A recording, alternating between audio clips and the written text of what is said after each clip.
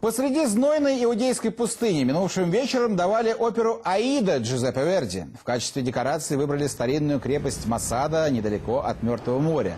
Но древняя архитектура выступила только фоном. Сцену, трибуны и многое прочее пришлось возводить прямо в пустыне.